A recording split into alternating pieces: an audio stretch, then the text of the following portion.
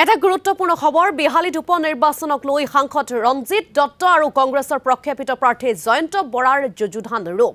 বিহালীত জয়ন্ত বৰা জিকিলে মাটিৰ দালাল সৃষ্টি হ'ব বুলি মন্তব্য বিহালীৰ প্ৰাক্তন বিধায়ক ৰঞ্জিত দত্তৰ। ডেৰটা বছৰত কংগ্ৰেছে জিকি কি কৰিব বুলি মন্তব্য ৰঞ্জিত দত্তৰ।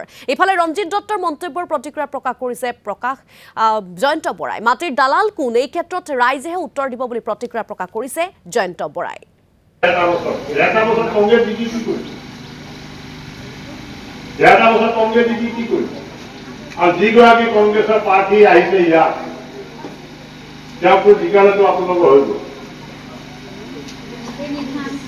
যিগৰাকী প্ৰাৰ্থীটো মই একো নকওঁ কিন্তু আমি জানো যিগৰাকী প্ৰাৰ্থী ইয়াত কেবিনেট দিছে তেওঁ যদি জিকি যায় তেতিয়া বহুত মাটি দালালৰ সৃষ্টি হ'ব আপোনালোকৰ মাটি এইবিলাক নাথাকিব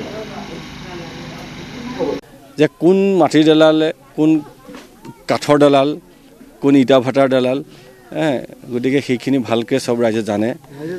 এইটো ৰাইজেহে উত্তৰ দিব।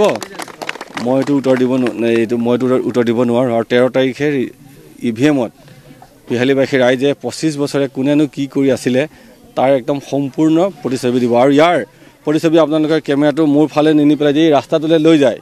পঁচিছ বছৰ তেখেতে কৰা শাসনত কি কৰিছে? অকণমান আগবঢ়াই দিয়কচোন ৰাস্তাটোলৈ। বা ইয়াতে থকা ব্যক্তিসকলক সোধক। তেখেতসকলে ক'ব যে কোনে কি দালালি ইমান দিন কৰি আছিল।